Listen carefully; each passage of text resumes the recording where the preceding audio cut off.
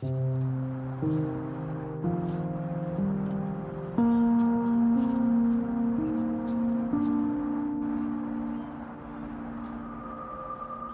من بیشتر بر مبنای عکس شکل می‌گیرن و عکسایی که معمولا پیدا می‌کنم. بیشتر روی آرشیوهای خانوادگی آلبومای خانوادگی عکسای به نسبت قدیمی تر اینا سرچشمه های کار من هستن که من از اونا شروع می‌کنم و بهشون یه چیزایی رو اضافه می‌کنم دستکاریشون می‌کنم. چند سال گذشته من روی مجموعه خیلی دارم کار می‌کنم و متمرکز شدم که بر مبنای یه سری فیلم های سوپر هشتن که پدرم در اواخر دهه 50 شمسی و اوایل دهه 80 میلادی اینا رو گرفته بود. از این 40 دقیقه 50 دقیقه فوتجی که که من پیدا کردم از فریماشون رو دونه دونه پرینت می‌گیرم و روی همه اون پرینت ها شروع می‌کنم یکی یکی کار کردن نقاشی کردن.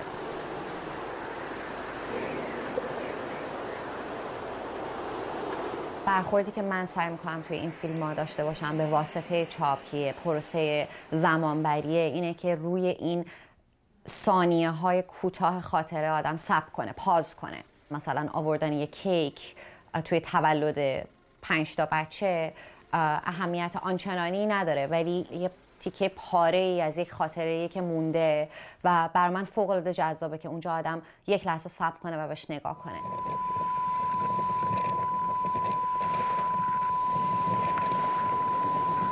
بعضیاشون مال سالهای دهه 80 هستن که سالهای دهه 60 ایرانه و سالهایی بوده که خب ما در ایران یه ذره زندگی ایزوله تری داشتیم سالهای جنگ بوده.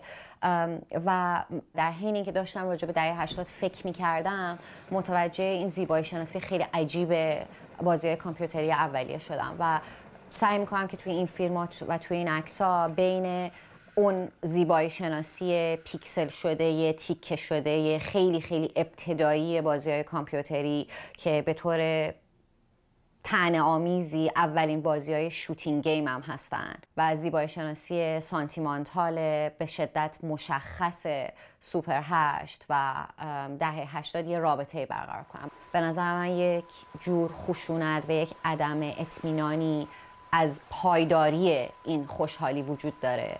که من می‌خوام راجع به اونا حرف بزنم. و به نظر من این المانای اون بازی ها بهترین راه بودن برای اینکه من وارد اون فضا بشم.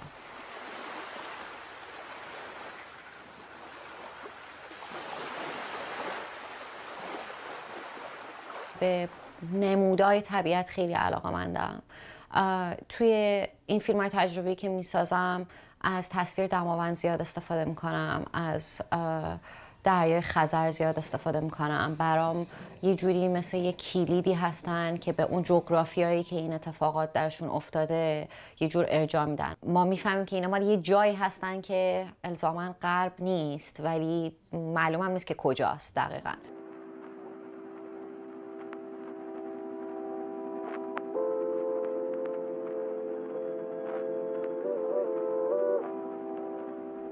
یه چیزی که برای من توی عکس خانوادگی یا آرشیو آلبوم های خانوادگی خیلی جالب بوده این بوده که چطور این لحظات معمولی زندگی روزمره رو ما دست کم می‌گیریم در حالی که اونا تو خودشون یه حالت قهرمانواری دارن. برای من خبر از یه روح جمعی میدن و یه چیز بیشتر از فقط یک دور همی و بازنمایی می‌کنن.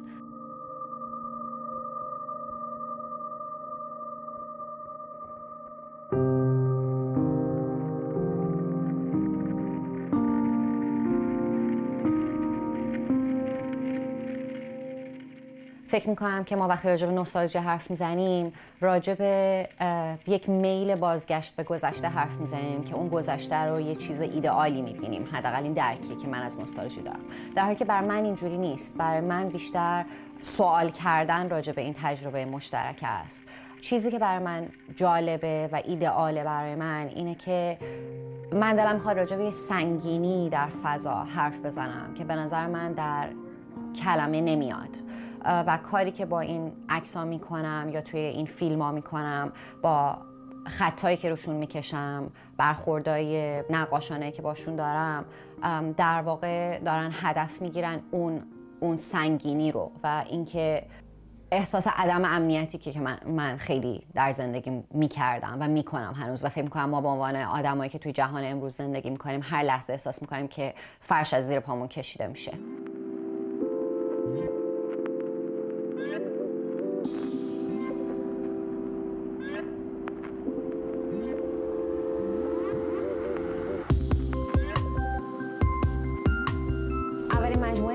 که من کار کردم درست بعد از اینکه از رشته نقاشی فارغ التحصیل شدم سالهای لیسانس. نقاشی عکسایی بودن که عکساشون رو من از حلقه دوستان نزدیکم و آدمایی که به هم خیلی نزدیک بودن می‌گرفتم و بیشتر راجع به این زندگی خصوصی ماها بچه های نسل خودم در ایران در فضاهای داخلی بود. وقتی اومدم اینجا خب دیگه دسترسی به اون منبع الهامه نداشتم. از اونجا دور افتاده بودم. و شروع کردم از یه سری با یه سری عکس کار کردن از تولدای بچگی همون دوستا همون گروه نزدیکی که قبلا داشتم خودم ازشون عکاسی کردم و این شروع علاقه من به آرشیو بود یه جوری. باز کرد یه راهی رو برای من.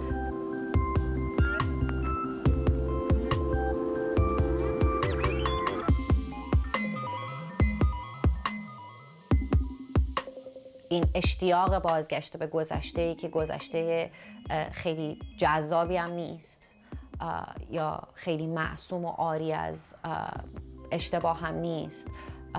دلم خواد که بین اینا یه رابطه برقرار کنم و راجبشون سوال بپرسم. براشون جواب ندارم اصلا ولی سعی می‌کنم که سوال کنم راجبشون.